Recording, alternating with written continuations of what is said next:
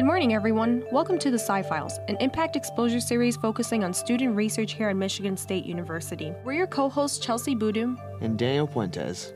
This summer, our theme is focusing on the relationship between graduate student mentors and their undergraduate student mentees. Mentoring is an important part of research and helps students develop into the scientists of today.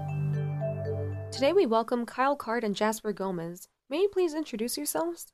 Hi, I'm Kyle Card. I am a six year graduate student in the Department of Microbiology and Molecular Genetics and the Ecology, Evolutionary Biology, and Behavior program here at MSU. Hi, my name is Jasper Gomez, and I currently just graduated from Michigan State University from the Department of Medical Laboratory Sciences. So, Kyle, you're in your sixth year, and Jasper, you just graduated, you had mentioned. When you say you just graduated, do you mean from undergraduate? Yes, as an undergraduate. Wonderful. What project do you both work on together? So we look at how bacteria evolve antibiotic resistance given that they haven't been exposed to these drugs for um, multiple decades. So we look at specifically the repeatability of evolution um, and how this repeatability is influenced or affected by um, the, uh, the genetic context of the, the organism. So what I do with Kyle is I'm the person that is in the laboratory doing wet work, and what wet work is is the person that goes in and does all of uh, the laboratory techniques in terms of uh, sterile technique and doing the plating and doing all of the research, basically. Um, Kyle is the one mostly doing a lot of the information based and doing all of the reading and and all of the information in terms of the data, and I'm the one that's producing the data. That's the wet work.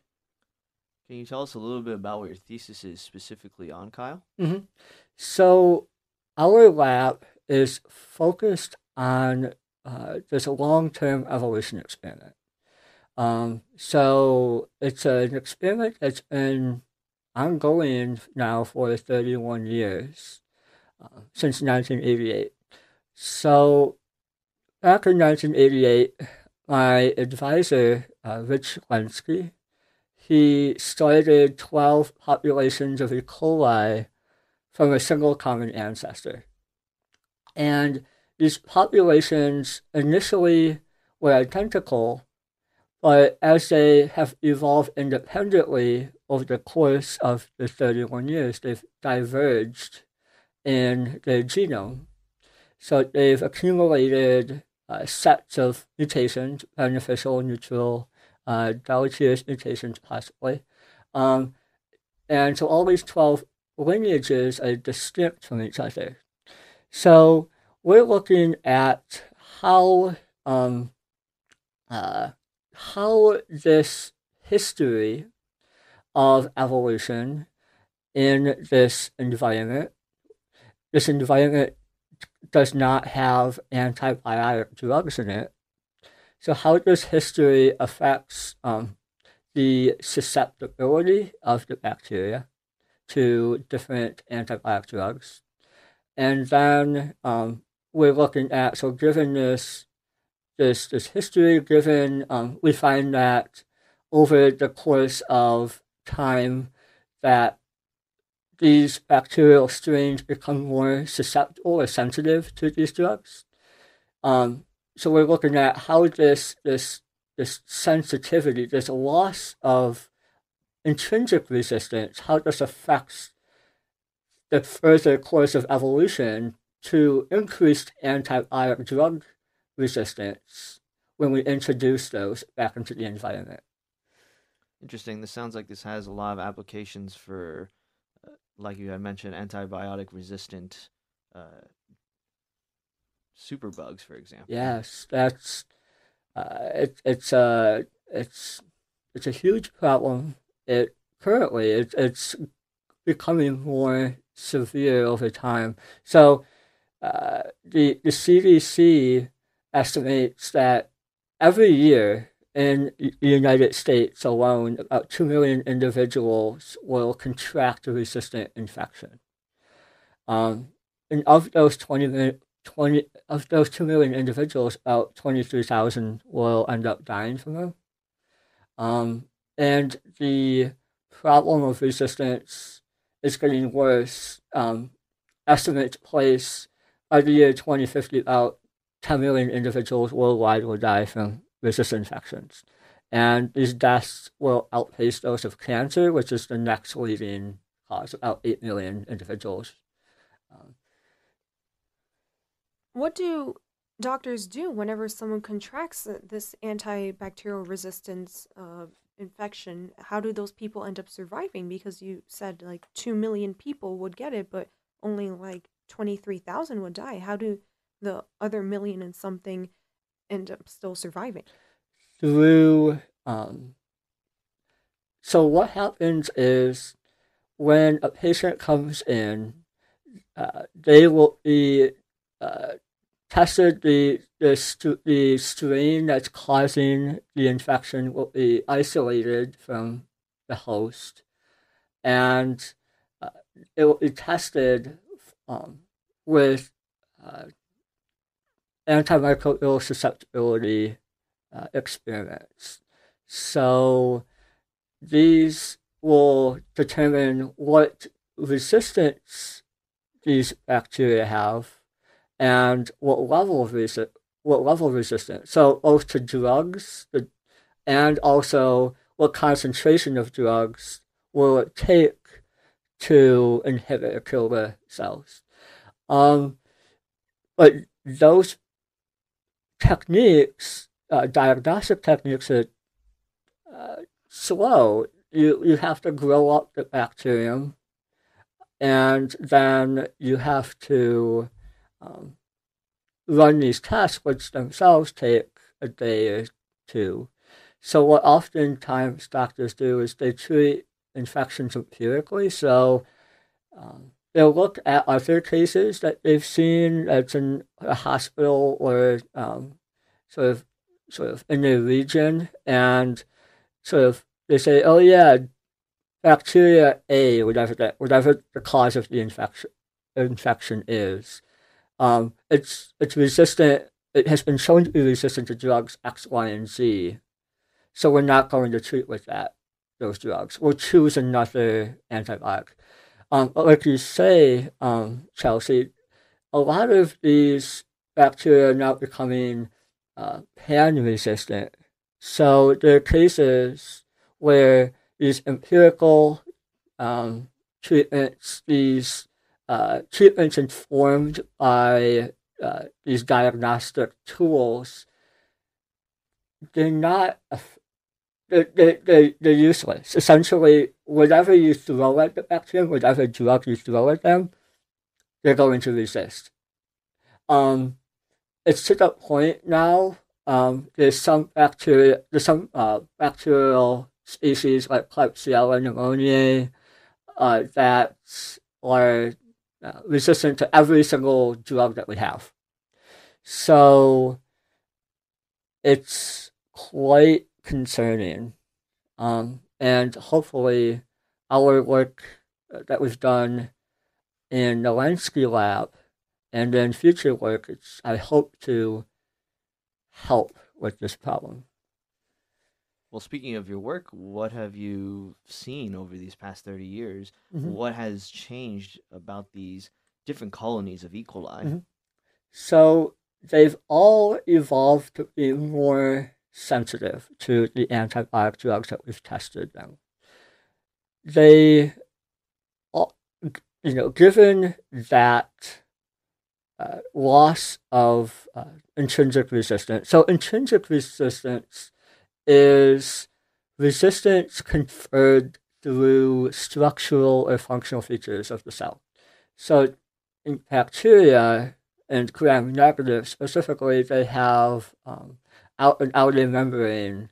Um, lots of bacteria have uh, not not specific to gram negatives, but many bacteria have uh, efflux pumps, which uh, are involved in um, ejecting metabolic um, byproducts per se, um, but they also can be used to pump out drugs.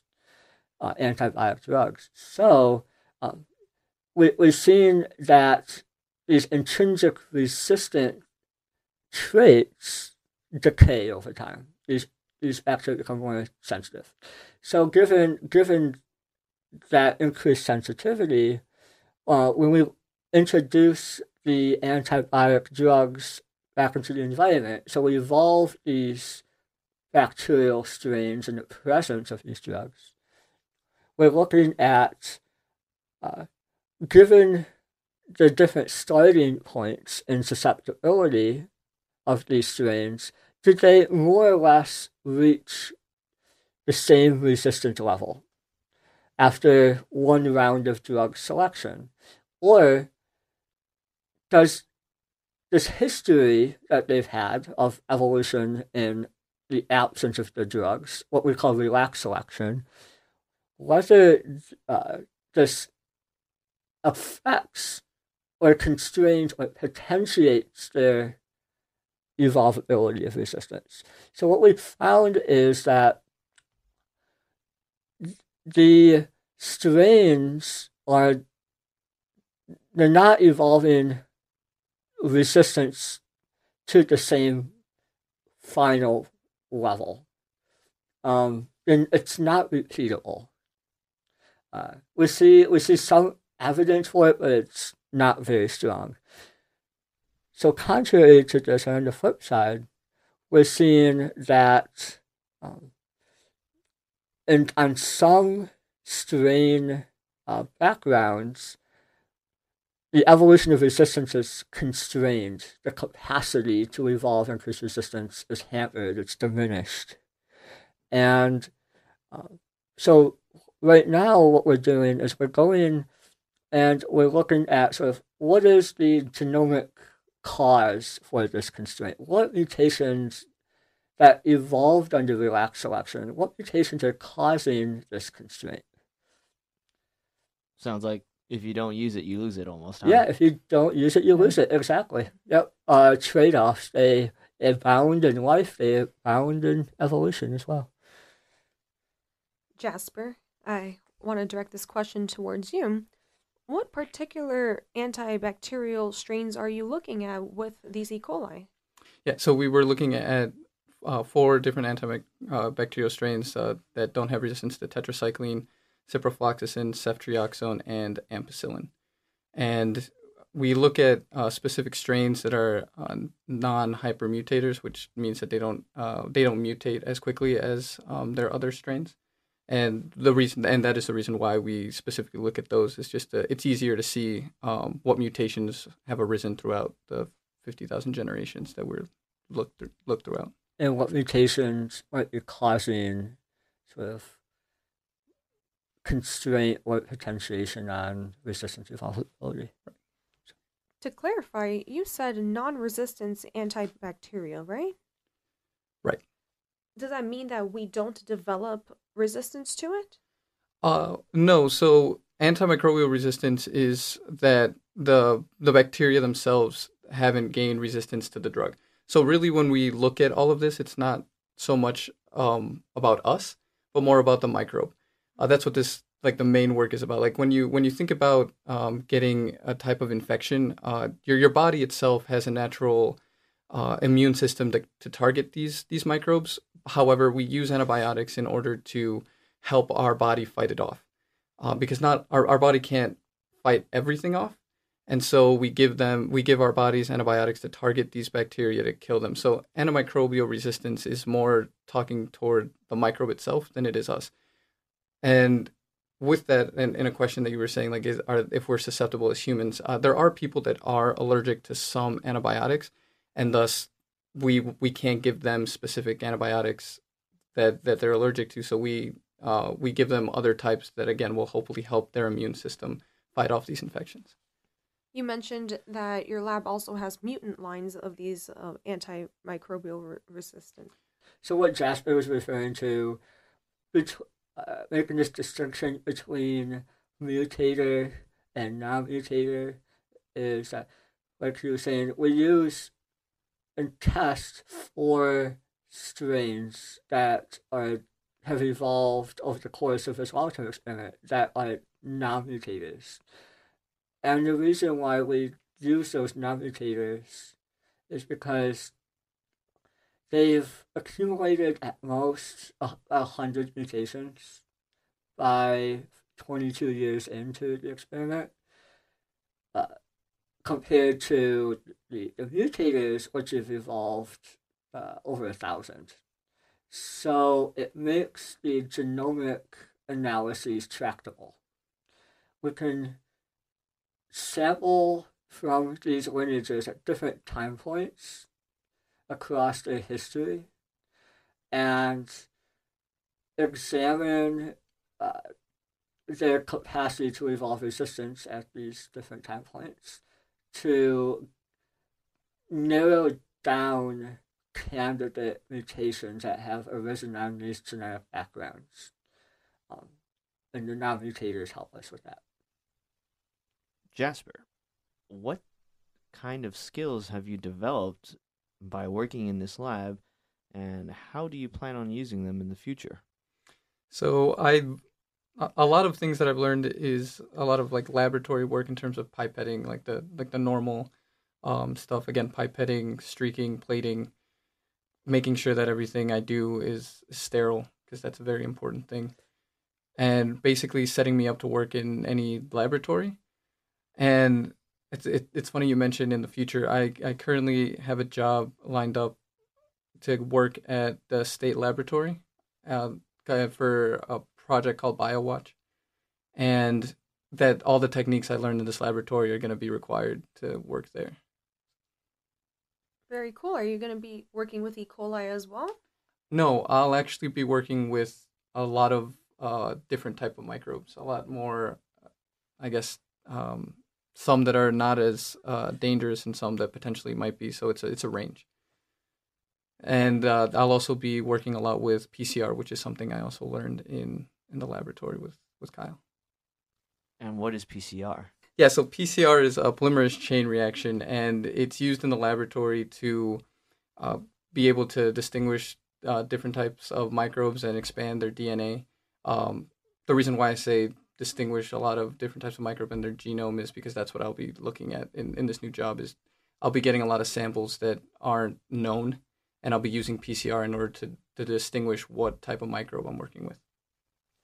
And uh, it sounds like a lot of these uh, types of genomics were also performed on the different E. coli colonies as well, right, Kyle? Yes. So over the past year, we've been using genomic engineering techniques to uh, take some of these mutations that have uh, arisen on these genetic backgrounds and then introduce them into the ancestor of a long term evolution experiment. And our hope is by doing so, we can start to narrow down the mutations, those, those that are essential, are necessary for uh, constraining resistance evolution that we've observed in some of these lineages.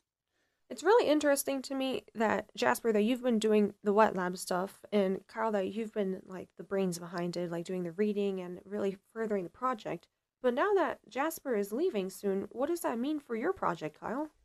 Jasper did note that I also do wet lab work too. So I work I work on I work alongside Jasper and I also work on other projects um, related to uh, antibiotic resistance and its evolution.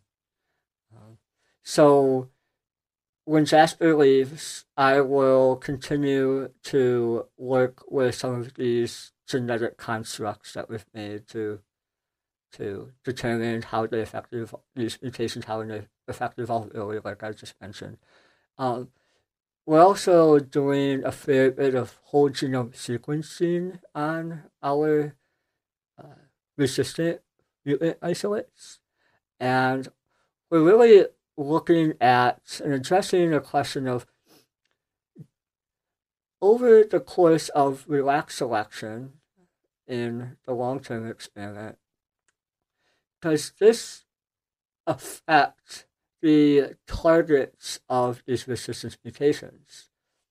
And in other words, are the targets of resistance mutations correlated, or they correspond to the loss of intrinsic resistance that we see in these strains?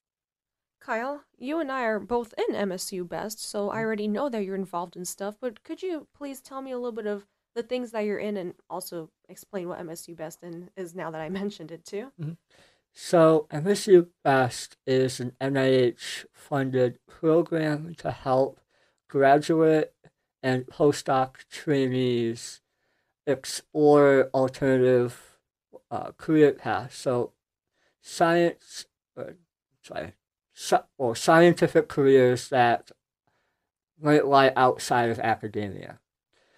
And in my time at BEST, um, it has really facilitated uh, sort of me understanding what options lie outside of this sometimes narrowed focused um, view I get of academia. So, for example, um, we've had individuals come to discuss their work in science communication, and I was really taken by that. It's science communication has always been something I've wanted to pursue. I've, it's been in the back of my mind for a while, and just learning how they got to where they are and sort of the lessons that they've learned along the way. Um, also, BEST has uh, allowed me to do an internship at the uh, Michigan Department of Health and Human Services in the reference laboratory. So, what I was doing there was I was examining similar questions to what I have been doing in my dissertation. Um, questions of uh, how the susceptibility of clinical isolates specifically affect their capacity to evolve resistance. So I was looking at Pseudomonas aeruginosa isolates that were um, taken from patients around the region here in mid Michigan and examining uh, their evolvability. And interestingly, oh, I found that um, a lot of these clinical isolates are incredibly resistant to these uh, the antibiotic I, I tested with, which was ciprofloxacin, and um, it, it it it really it was a it was a it contrasted sharply with the work and the resistance levels I see in the long term lines.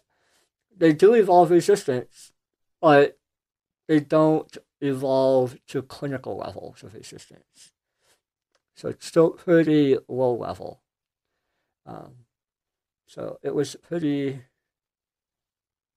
it was pretty alarming actually that even in the small sample set I was using, there were really incredibly resistant bacteria. Thank you for that, Kyle. We really appreciate that.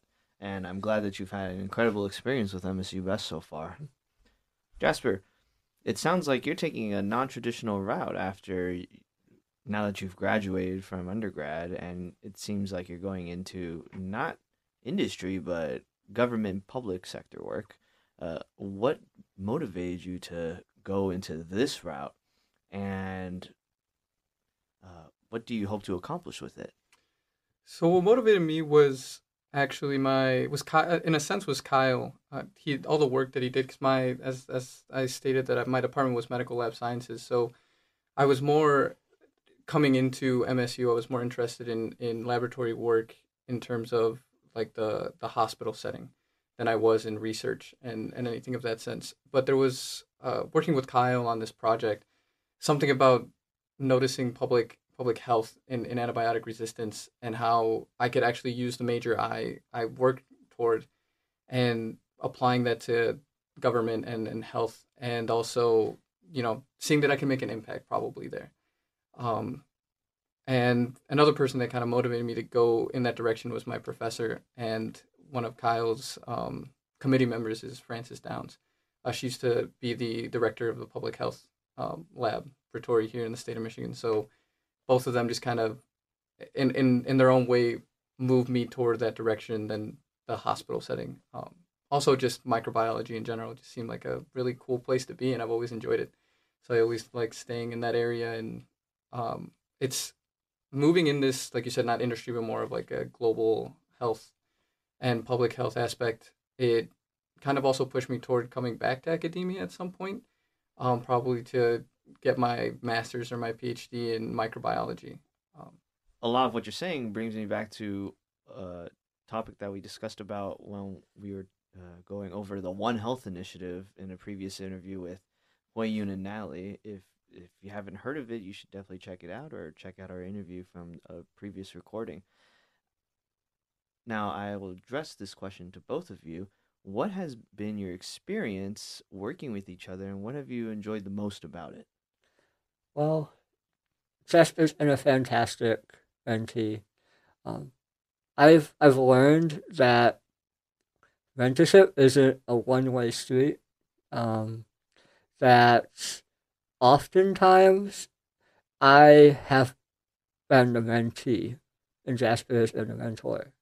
So Jasper has taught me how to really organize my thoughts in a way to to to to translate them to in a way that he can understand sort of these high level rather abstract ideas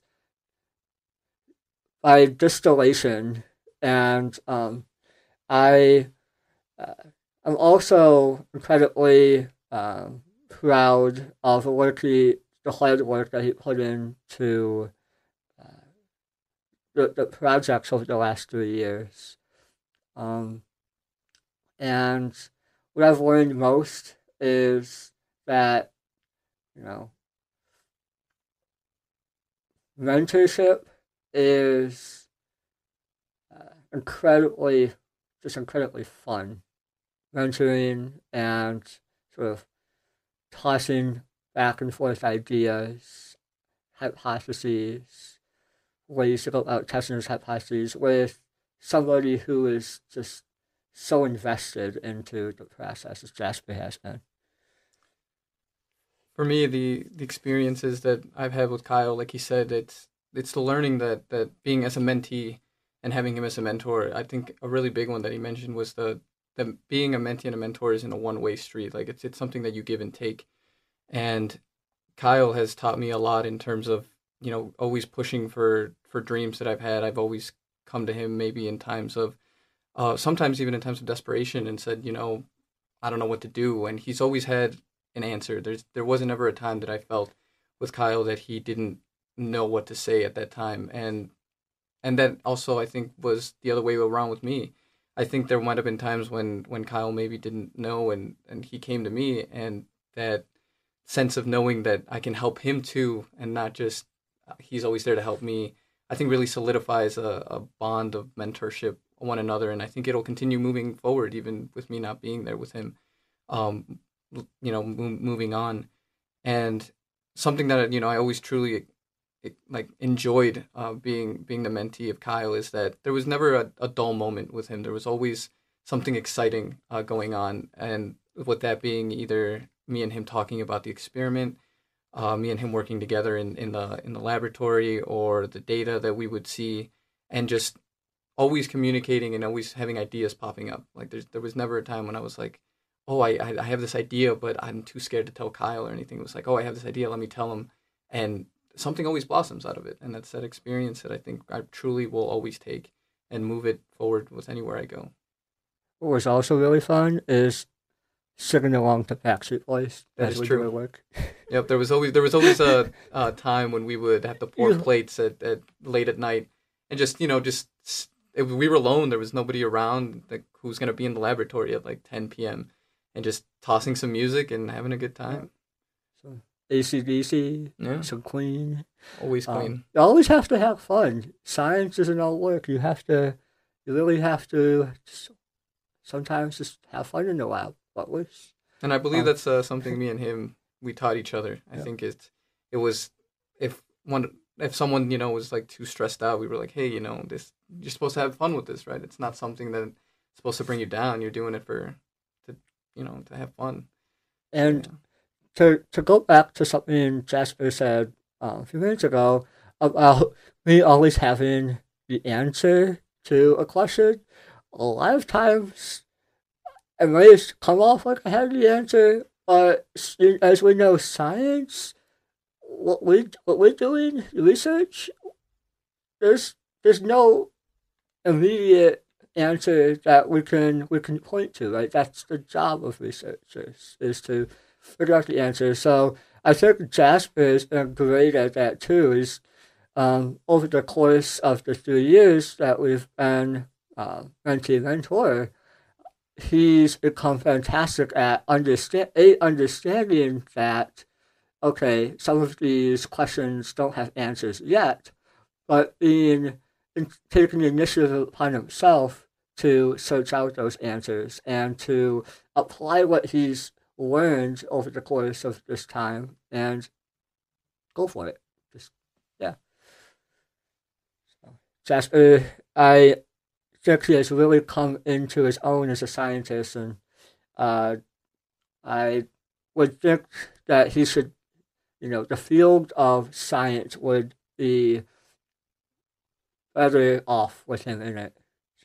And it's better off now with Kyle. So Thanks a lot for sharing that. That was so heartwarming. I, I really enjoyed hearing that. Yeah, it was really nice. I, I want to take the time to thank both of you for coming in today. Uh, it's really great to hear about both of your experiences. And thank you for sharing it not only with us, but with our audience as well in the local Lansing community. Thank you, Daniel. Thank you, Chelsie. thank you, Daniel. Thank you, Jesse. Thank you to all of our listeners for tuning in. And remember, the truth is in the science. If you're a current or visiting undergraduate student that would like to be interviewed with your graduate student mentor, please reach out to us at scifiles at impact89fm.org. See you next week on the Sci Files.